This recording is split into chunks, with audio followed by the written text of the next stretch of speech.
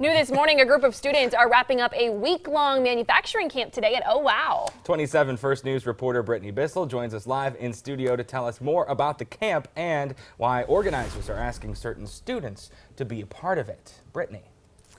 Yeah, the camp gives students an education in science, technology, engineering, and math. Many of you know it as STEM. It also shows them careers in manufacturing right here in Youngstown.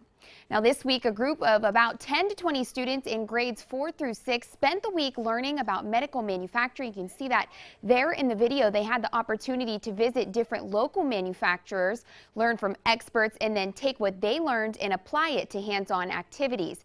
Now, since this week is centered around medical manufacturing, students got the opportunity to build a prosthetic leg out of recycled materials.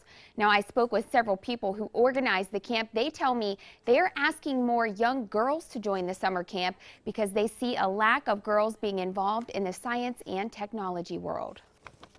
We see that young girls are often deciding from an early age that they aren't good at math or they're not good at science.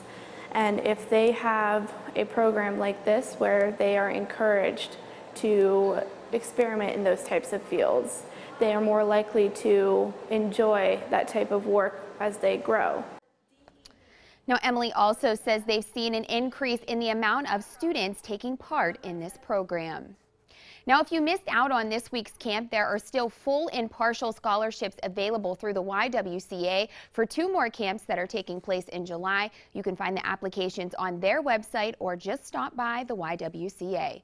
Live in studio, Brittany Bissell, 27 First News this morning.